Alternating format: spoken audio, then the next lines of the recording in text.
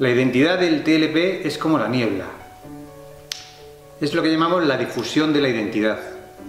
El TLP no ve nada, no se siente ubicado, ni en el presente, siente que no encaja, ni en el futuro, no tiene un atisbo de futuro, de hacia dónde puede ir, de hacia dónde le gustaría ir. La identidad es, conlleva una intuición de lo que uno vale y lo que a uno le tira del alma, del espíritu. Y eso es lo que siente el TLP que no siente.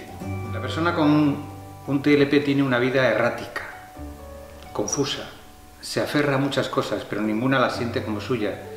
Se compara continuamente, como si no tuviera una identidad propia a la que aferrarse. Sin embargo, el error es pensar que la persona con un TLP no tiene identidad, no es que no tenga identidad, sí la tiene, lo que ocurre es que la tiene enterrada.